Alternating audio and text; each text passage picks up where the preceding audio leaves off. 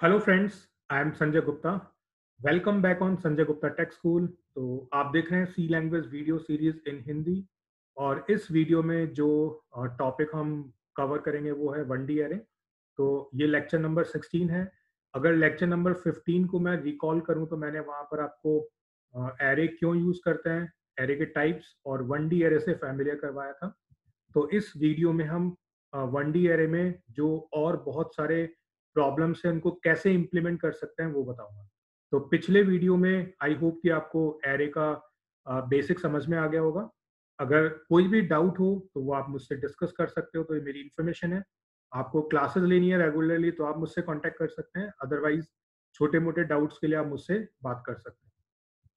तो अब स्टार्ट करते हैं ये वीडियो, जिसमें हम ये सारे प्रोग्राम्स एक एक करके इम्प्लीमेंट करेंगे, ताकि आपको वन डी एरे और अच्छे से समझ में आ जाएगा। और जिन्होंने पिछला वीडियो नहीं देखा है, ये बेसिक वन डी एरे कैसे इंप्लीमेंट होता है, अगर ये वीडियो आपने मिस कर दिया या पूरी वीडियो सीरीज़ को आप फॉलो करना चाहते हो तो इस पूरी वीडियो सीरीज़ का जो प्लेलिस्ट लिंक है, वो इस वीडियो के डिस्क्रिप्शन में अवेलेबल है फ़र्स्ट नंबर पर। उसके अलावा जो प्लेलिस्ट लिंक आपको मिलेंगे, वो सारे वीडियोस इंग्लिश के हैं तो आप जिसमें भी कंफर्टेबल हैं, वो फॉलो कर सकते हैं। नाउ मूविंग टू और कंपाइलर तो ये पिछले वीडियो का लास्ट प्रोग्राम था तो इसमें से मैं ये पार्ट इरेज कर रहा हूँ, बाकी हम यूज़ करेंगे। और कमेंट को मॉडिफाई कर रहे हैं। तो अब देखो, अपना पहला प्रोग्राम है count even and odd values ठीक है? तो हमें बेसिकली एक एरे में जितनी भी वैल्यूज़ हैं, उसमें से काउंट करना है, कितनी इवन वैल्यूज़ हैं और कितनी ऑड वैल्यूज़ हैं। एंड फर्दर सेकेंड प्रोग्राम में हम उनका सम भी कैलकुलेट करेंगे। तो count even and odd values from array ठीक है? पहले ये सॉल्व करना है।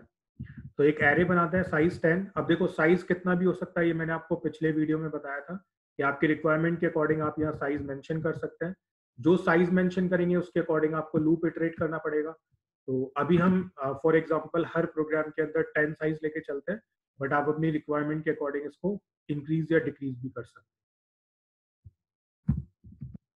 काउंटिंग के लिए मैं दो वेरिएबल लेता हूँ इवन और ऑड तो दोनों को ज़ीरो से इनिशियलाइज किया। देन ये प्रिंट एफ़ और फॉर लूप जो स्कैनफ को रिपीट कर रहा है, ये पिछले वीडियो में आपको एक्सप्लेन कर दिया था कि जब भी एरे को रीड करना है तो आपको लूप यूज़ करना पड़ेगा। तो एरे पढ़ने से पहले लूप को समझना बहुत ज़रूरी है। तो लूप ये जो टेन नंबर्स हैं जो यूज़र इनपुट करेगा, उनको रीड कर लेगा। अब हमें काउंट करना है कितने इवन नंबर्स हैं और कितने ऑड नंबर्स हैं देन उसको डिस्प्ले कराना है। तो मैंने आपको बताया था पिछले वीडियो में कि हम फॉर लूप के स्कैनएफ के साथ भी कंडीशन या कोई भी कैलकुलेशन कर सकते हैं और हम अलग से भी एक लूप इंप्लीमेंट कर सकते हैं, ठीक है? तो लेट से इसी में ही पहले इंप्लीमेंटेशन कर लेते हैं, फिर उसको सेपरेट करके भी देख लेंगे। तो अब देखो इवन और काउंट करने के लिए हम क्या करते हैं? एक इफ़ कंडीशन अप्लाई करेंगे। क्योंकि हमें चेक करना है कि नंबर टू से कंप्लीटली डिविजिबल है या नहीं। तो अब नंबर फैच करने के लिए हमेशा आपको ए ऑफ़ आई लिखना होगा। मॉड्यूलस कैलकुलेट करने के लिए हम परसेंट सिंबल यूज़ करते हैं। तो ये अगर आपने इफ़ एल्स वाला वीडियो ध्यान से देखा होगा कंडीशनल स्टेटमेंट जब मैंने आपको एक्सप्लेन किए थे तो वहाँ बताया था कि हम किसी भी नंबर को कैसे चेक करें कि वो इवन है या ऑड है। तो उस प्रोग्राम में आपने देखा था कि हमने सिर्फ़ एक नंबर को चेक किया था कि वो इवन है या ऑड अभी हम काम कर रहे हैं बल्क डेटा पर कि आपके पास बहुत सारे नंबर्स होंगे, जो कि एरे में अवेलेबल है और उसमें से आपको सेग्रीगेट करना है कि इतने तो इवन इनपुट करवाए और इतने ऑड इनपुट करवाए। ठीक? तो ए ऑफ़ आई मतलब एरे वैल्यू अगर वो टू से कम्प्लीटली डिविजिबल है तो रिमाइंडर ज़ीरो होगा। तो अब आप यहाँ ट्रू पार्ट में लिख दीजिए even plus plus false part में लिख दीजिए ऑड प्लस प्लस तो अब यहाँ पर ध्यान देना इवन और ऑड वेरिएबल्स के नेम है। ठीक है? और हमें काउंट करना है कितने इवन है, कितने ऑड है, इसलिए हम यहाँ पर डायरेक्टली प्रिंट एफ़ नहीं लिख सकते। क्योंकि हमें ये नहीं बताना कि नंबर इज़ इवन और नंबर इज़ ऑड ठीक है? हमें बताना है कितने इवन कितने ऑड तो उस केस में आपको वेरिएबल यूज़ करके उनको वन से हर बार इंक्रीज करना है। और जब ये लूप फिनिश हो जाएगा तो आप लिखेंगे print f back slash n even equals to percent d then back slash n odd equals to percent d even comma odd. तो ये बिल्कुल सिंपल प्रिंट एफ़ है, जिसमें डबल कोट्स में जो भी है वो एज इट इज़ प्रिंट होगा और जो परसेंट डी है वो इवन और ऑड वेरिएबल से रिप्लेस हो जाएगा। तो अब इसको मैंने सेव किया एग्जीक्यूट कराते हैं। तो मैं वन से टेन तक वैल्यूज़ डाल रहा हूँ। आप देख सकते हैं प्रिंट हुआ इवन फाइव और ऑड भी फाइव ठीक है? तो फाइव ही इवन है फाइव ही ऑड है तो प्रॉपरली काम कर रहा है। एक बार इसको फिर से रन कराते हैं और इस बार मैं सारे वन इनपुट करा रहा हूँ मतलब सारे के सारे ऑड नंबर्स तो आप देख सकते हैं इवन की वैल्यू प्रिंट हुई ज़ीरो और ऑड में प्रिंट हो रहा है टेन तो प्रोग्राम प्रॉपरली काम कर रहा है, कोई भी इसमें प्रॉब्लम नहीं। ठीक है? अब हमें सेकेंड प्रोग्राम इंप्लीमेंट करना है। हमें क्या कैलकुलेट करना है? सम तो हमें प्रिंट करना है इवन नंबर्स का सम और ऑड नंबर्स का सम तो अभी तो हमने काउंट किया था कि कितने इवन है, कितने ऑड है। अब जो भी इवन है, वो सब आपस में ऐड हो जाएँ और जो ऑड नंबर्स हैं, वो आपस में ऐड हो जाएँ। तब देखो।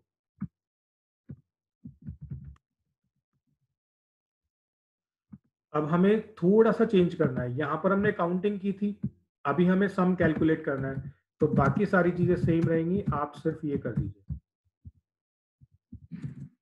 even equals to even plus a of i and odd equals to odd plus a of i. तो पहले हमने इवन और ऑड वेरिएबल्स को वन से इंक्रीज करवाया था, अभी हमने इवन और ऑड वेरिएबल्स के अंदर एरे की जो वैल्यूज़ है उनको ऐड करवा दिया। तो सम करने का यही तरीका होता है। तो loop loop same time repeat हो रहा है टेन टाइम्स स्कैनफ हमने वैल्यू को रीड करने के लिए लिखा और इमीडिएटली हमने इफ़ कंडीशन लगाकर ये कैलकुलेशन किया। और सेम इवन ऑड की वैल्यूज़ को डिस्प्ले करा तो आपने देखा कितना इजीली प्रोग्राम मॉडिफाई हुआ। अब ये जो भी टेन नंबर्स हम इनपुट करेंगे, उसमें जितने इवन है, उनका अलग से सम कर देगा और जितने ऑड है, उनका अलग से सम कर देगा। तो अब इसको एग्जीक्यूट कराते हैं। तो अब देखो मैं जो इनपुट कर रहा हूँ, वो इस तरीके से पाँच बार वन पाँच बार टू तो वन ऑड है तो सम आ गया फाइव और टू इवन है तो सम आ गया टेन ठीक है फाइव टाइम टू एंटर किया तो टेन और फाइव टाइम वन एंटर किया तो फाइव तो इस तरीके से प्रोग्राम प्रॉपरली रन कर रहा है। ठीक? यहाँ इक्वल्स टू लगाना भूल गया था तो वो आप ऐड कर सकते हो। बाकी ऑप्शनल है। अब मैंने आपको बोला था कि अगर हम एक ही लूप के अंदर रीडिंग और कैलकुलेशन ना करें, दो अलग अलग लूप चलाएँ तो वो भी पॉसिबल है। तो आपको क्या करना पड़ेगा? रीडिंग का लूप तो अलग और जो कैलकुलेशन का लूप है वो अलग से इम्प्लीमेंट कर सकते तो कभी कभी रिक्वायरमेंट आती है कि हम रीडिंग सेपरेटली करते हैं, फिर कैलकुलेशन करेंगे और उसके बाद जो भी रिज़ल्ट है वो प्रिंट कराएँगे, ठीक है? तो वो डिपेंड करता है बट अभी वाले केस में हम एक ही लूप से दोनों काम कर सकते हैं। तो आपको जितने कम रोटेशन है जितने कम रोटेशन आप इम्प्लीमेंट करें और उसके थ्रू आपका रिज़ल्ट आ जाए तो वो बेटर अप्रोच होता है। तो अगर हम पिछला अप्रोच देखें जिसमें एक ही लूप था और रीडिंग और कैलकुलेशन किया था तो वो बेटर अप्रोच था राइट अब आगे चलते हैं। हमें काउंट करना है positive negative and zero values तो फिर से हमें इफ़ एल्स को मॉडिफाई करना पड़ेगा। तो अब हमें काउंट करना है positive negative and zero values तो वेरिएबल का नाम लिख देते हैं। पॉजिटिव नेगेटिव एंड ज़ीरो तीनों को ज़ीरो से इनिशियलाइज किया। कंडीशन चेंज हो जाएगा। अगर a of i is greater than zero अगर एरे का एलिमेंट ज़ीरो से ग्रेटर है तो वो पॉजिटिव होगा तो पॉजिटिव प्लस प्लस ठीक है? Else if a of i is less than zero तो वो हो जाएगा नेगेटिव तो यहाँ पर हम लिखेंगे नेगेटिव प्लस प्लस और अगर ये भी फॉल्स है तो हम लिख देते हैं ज़ीरो प्लस प्लस ठीक है? तो कंडीशन अगर ये फ़र्स्ट वाली ट्रू होती है तो नंबर पॉजिटिव है। अगर फॉल्स है तो एल्स पर जाएँगे, फिर से इफ़ मिलेगा। अगर लेस देन ज़ीरो है नंबर तो नेगेटिव प्लस प्लस हो जाएगा। दोनों ही फॉल्स है तो ज़ीरो प्लस प्लस ठीक? तो बहुत ही सिंपल था मॉडिफिकेशन करना, क्योंकि इफ़ एल्स आप ऑलरेडी पढ़ चुके हैं पिछले वीडियो में तो अब यहाँ पर आप प्रिंट कर सकते हैं कि positive equals to percent d negative equals to percent d and 0 equals to percent d then positive negative and 0 तो अब इसको एग्जीक्यूट कराते हैं तो देखो पहला number positive then zero then negative then positive negative zero negative positive positive zero तो देखो, मैंने सबसे पहले एंटर किया था वन देन उसके बाद अगला पॉजिटिव नंबर है टू उसके बाद है नाइन और थ्री मतलब चार पॉजिटिव है नेगेटिव तीन है minus four minus eight minus three and zero भी तीन बार एंटर किया तो उसके अकॉर्डिंग ये रिज़ल्ट आ रहा है। रिज़ल्ट अगर अलग अलग लाइन में प्रिंट करना है तो जहाँ पर भी हमने कॉमा लिखा है, उसके जगह पर आप यूज़ कर सकते हैं बैक स्लैश एन तो यहाँ बैक स्लैश एन लिखेंगे तो अलग अलग लाइन में रिज़ल्ट प्रिंट होगा। तो इस तरीके से हमने जितने भी नंबर्स इनपुट कराए, उसमें से आइडेंटिफाई किया कि कितने पॉजिटिव है, कितने नेगेटिव है और कितने ज़ीरो नंबर्स अब हमें चेक करना है कि जो एरे है, उसमें से मैक्सिमम और मिनिमम कैसे आइडेंटिफाई करें। तो उसके लिए अब आपको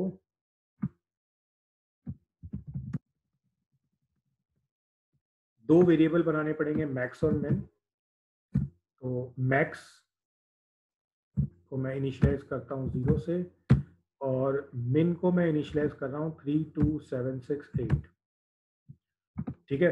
तो मैक्स ज़ीरो हो गया।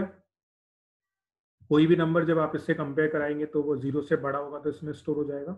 मिन को हम ज़ीरो से इनिशियलाइज नहीं कर सकते। अगर मिन को ज़ीरो से इनिशियलाइज करेंगे तो ज़ीरो ऑलरेडी मिनिमम है तो कोई और नंबर इसमें असाइन ही नहीं होगा। तो मिन के अंदर हमने सबसे बड़ा नंबर असाइन कर दिया। तो ये इंटीजर रेंज होती है टू बाइट के अकॉर्डिंग ठीक है? आप चाहें तो रैंडमली कोई और नंबर भी असाइन कर सकते हैं कि आपको पहले से पता होना चाहिए कि आपके जो नंबर है वो किस रेंज के अंदर लाई करेंगे। तो मैक्स में ज़ीरो असाइन करो और मिन में जो सबसे बड़ा नंबर हो सकता है वो असाइन कर दो, ताकि छोटे नंबर भी उसमें असाइन हो पाए। फिर हमने यूज़र से इनपुट कराया।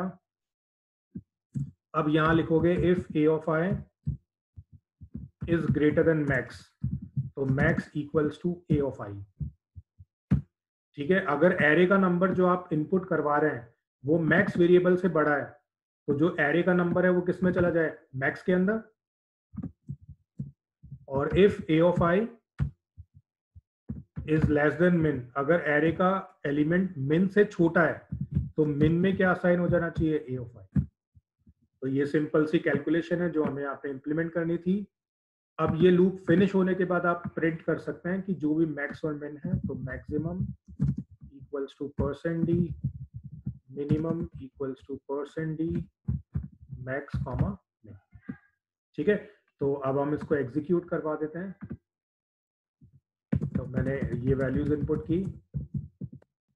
तो आप देख सकते हो मैक्सिमम आ गया टेन और मिनिमम आ गया वन ठीक है?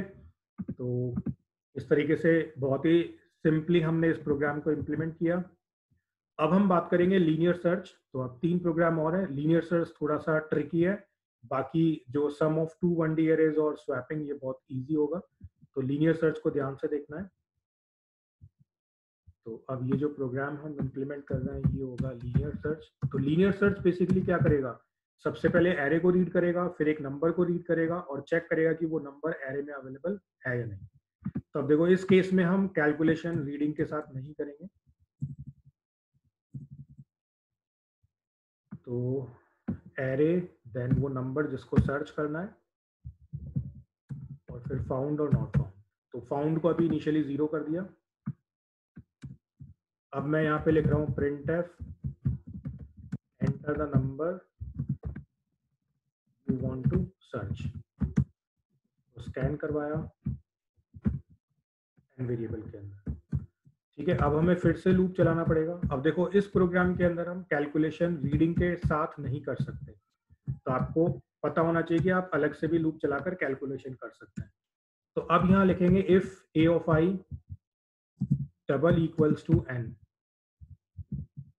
ठीक है, कि अगर एरे का एलिमेंट उस नंबर के इक्वल है या नहीं तो ये तो एरे का एलिमेंट है ए ऑफ़ आई के थ्रू मिलेगा। तो पहले ए ज़ीरो चेक होगा एन से, फिर आई प्लस प्लस हो जाएगा वन तो ए वन चेक होगा, फिर ए टू ए थ्री तो एरे के हर इंडेक्स की जो वैल्यू है वो एन से कंपेयर होगी कि वो मैच होता है या नहीं। अगर वो मैच हो जाता है it means number is present तो हम उस केस में क्या कर देते हैं फाउंड इक्वल्स टू वन और मैंने आपको जब लूप बताया था जब मैंने आपको लूप वाले वीडियो में लूप एक्सप्लेन किया था तो एक कीवर्ड बताया था ब्रेक, कि जब भी आप चाहें कि आपको लूप टर्मिनेट करना है तो आप ब्रेक यूज़ कर सकते हैं। तो अगर एरे का नंबर, सपोज़ ये जो एन है, वो एरे में फ़र्स्ट पोजीशन पर ही अवेलेबल है तो क्या आपको बाकी एलिमेंट सर्च करने की ज़रूरत पड़ेगी? तो आप बोलेंगे नहीं। जब नंबर पहली पोजीशन पे मिल जाएगा तो हम अननेसेसरी बाकी एलिमेंट्स को क्यों सर्च करें? ठीक है? तो हम उसके लिए क्या यूज़ कर रहे हैं? ब्रेक। तो जैसे ये कंडीशन ट्रू होगी तो लूप ब्रेक हो जाएगा। और हमें पता कैसे चलेगा कि नंबर मिला या नहीं मिला? तो उसके लिए हमने फाउंड वेरिएबल की वैल्यू को क्या सेट कर दिया? वन इनिशियली क्या था? ज़ीरो तो अब ये लूप खत्म होने के बाद आप क्या करोगे? If found double equals to one तो अगर ये ट्रू है तो आप प्रिंट कर दीजिए। Number is present in array और एल्स में लिख देंगे आप print f number is not present in array ठीक है? तो अब इसको एक बार एग्जीक्यूट करके देखते हैं। तो मैंने एंटर किए टेन नंबर्स और मुझे सर्च करना है फोर तो देखो number is present in array और अगर एक नंबर एरे में एक से ज़्यादा बार अवेलेबल है तो ये पहली अकरेंस देखेगा कि पहली बार वो कहाँ मिला। जैसे वो मिला तो लूप ऑटोमेटिकली टर्मिनेट हो जाएगा। ठीक है अब मैं सर्च कर रहा हूँ फिफ्टी तो देखो number is not present in array fifty array में अवेलेबल नहीं है। तो दोनों केसेस में ये प्रॉपरली काम कर रहा है। ठीक है अब हम आ, क्या करें? हमें ये भी पता लगाना है कि नंबर कौन सी पोजीशन पे मिला। तो आप क्या करोगे यहाँ फाउंड की जगह आई को स्टोर कर दो। अच्छा उससे पहले एक चीज़ और बताता हूँ। अगर यहाँ found double equals to one ना लिख के सिर्फ़ फाउंड लिखोगे तो भी चलेगा। क्योंकि फाउंड में अगर ज़ीरो होगा तो ये ऑटोमेटिकली फॉल्स हो जाएगा और नॉन ज़ीरो है तो ये ट्रू तो आप ये भी लिख के इसको चेक कर सकते हैं। अब अगर हम यहाँ आई लिखेंगे तो ए ऑफ़ आई मतलब जिस इंडेक्स पोजिशन पर नंबर मिला तो फाउंड में वो असाइन हो जाएगा और ये लूप ब्रेक हो जाएगा। तो उस केस में आपको फाउंड को किससे स्टार्ट करना पड़ेगा? माइनस वन से। क्योंकि ज़ीरो इंडेक्स भी तो हो सकता है कि जहाँ पर नंबर अवेलेबल है, ठीक है? तो अगर वो है तो प्रॉब्लम हो जाएगी। तो हम चेक करते हैं found not equals to minus one अगर फाउंड की वैल्यू माइनस वन नहीं है इट मीन्स नंबर मिला। अगर माइनस वन है तो नहीं मिला। अब किस पोजीशन पर मिला? हमने लिखा एट परसेंट पोजिशन और मैंने यहाँ लिख दिया फाउंड प्लस वन आप सोच रहे हैं कि प्लस वन क्यों किया? क्योंकि हम फाउंड में आई को स्टोर कर रहे हैं। आई बताता है इंडेक्स नंबर तो यूज़र के अकॉर्डिंग ज़ीरो मतलब पोजीशन नहीं होती। यूज़र के अकॉर्डिंग पहला एलिमेंट फ़र्स्ट पोजीशन पर ही होगा। तो हर इंडेक्स में, हर इंडेक्स में वन ऐड कर दिया। तो जो भी इंडेक्स नंबर मिलेगा उसमें वन ऐड कर देंगे, जिससे जो यूज़र ओरिएंटेड पोजीशन है वो पता चल जाएगा। तो अब इसको अगर एग्जीक्यूट करते हैं one two three four five six seven eight nine ten. अब जैसे मैं सर्च कर रहा हूँ, वन तो अब देखो क्या बोलेगा number is present at first position तो प्रेजेंट तो ज़ीरो इंडेक्स पर है बट प्रिंट क्या हो रहा है? फ़र्स्ट पोजीशन क्यों? क्योंकि हमने जो फाउंड था, उसको क्या किया? फाउंड प्लस वन कर तो इस तरीके से अगर आप आई वेरिएबल को फाइंड फाउंड में स्टोर करोगे तो आप आइडेंटिफाई कर सकते हैं कि एरे में वो नंबर किस पोजीशन पर अवेलेबल है। तो आई होप कि आपको ये लीनियर सर्च का प्रोग्राम समझ में आ गया होगा। बहुत ही इजी था। बट थोड़ा सा ट्रिकी भी है, क्योंकि इसमें हमने बहुत सारी चीज़ें, जैसे एरे को पहले रीड किया, फिर नंबर को रीड किया, फिर चेक किया कि नंबर अवेलेबल है या नहीं है, और फाउंड की वैल्यू के अकॉर्डिंग हमने आउटपुट शो किया। तो बहुत सारी कैलकुलेशन हमने इसमें की है। Then sum of two one D arrays into third one D array तो अब इस प्रोग्राम में आपको ये देखने को मिलेगा कि हम एक ही प्रोग्राम में एक साथ तीन एरेज को कैसे मैनेज करें। Sum of two one D arrays ठीक है? तो अब इनको तो इरेज कर देते हैं। अब देखो, ये दूसरा वन डी एरे और ये तीसरा वन डी एरे ठीक है? तो अब यहाँ लिखेंगे एंटर फ़र्स्ट एरे वैल्यूज़ इन्हीं को कॉपी करा लेते हैं। अब दो एरे रीड करना है तो दो बार अलग अलग लूप चलाना पड़ेगा, ताकि यूज़र को पता चले कि वो कौन से एरे की वैल्यू इनपुट करा रहा है। और यहाँ कर दीजिए बी लूप का काउंटर वेरिएबल सेम हो सकता है क्योंकि जब ये लूप फिनिश हो जाएगा, उसके बाद ये स्टार्ट होगा तो लूप अलग अलग हो सकते हैं।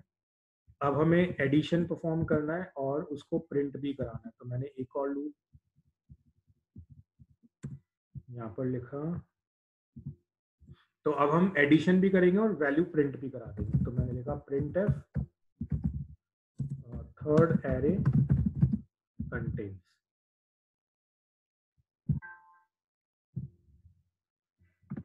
है तो ये बैक स्लैश एन अब यहाँ पर मैं एक लूप इटरेट कर रहा हूँ। C of i equals to a of i plus b of i printf के अंदर क्या किया? Percent d comma c of i ठीक है? तो ए आई पोजिशन बी आई से एड होकर सी आई पे चला जाएगा और वो प्रिंट भी हो जाएगा। तो दो एरे कॉरस्पॉन्डिंग इंडेक्सेस को ऐड करेंगे और वो स्टोर हो जाएँगे। यहाँ सेमीकोलन यूज़ करना है। तो फ़र्स्ट एरे में डाला वन सेकेंड एरे में डाला टू तो देखो थर्ड एरे क्या प्रिंट कर रहा है? थ्री तो इस तरीके से हमने दो एरे के इंडेक्सेस के कॉरेस्पॉन्डिंग वैल्यूज़ का सम किया। अब लास्ट है स्वैपिंग करना। तो स्वैपिंग बहुत ही ईजी है, जो हमने रीड की वैल्यूज़ उन्हीं को इंटरचेंज करना है। ठीक है तो अब यहाँ पे सी एक टेम्परेरी वेरिएबल बना देता है।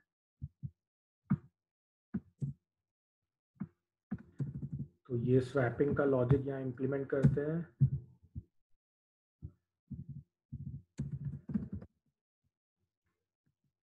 यहाँ लिखोगे c equals to a of i then a of i equals to b of i and b of i equals to c.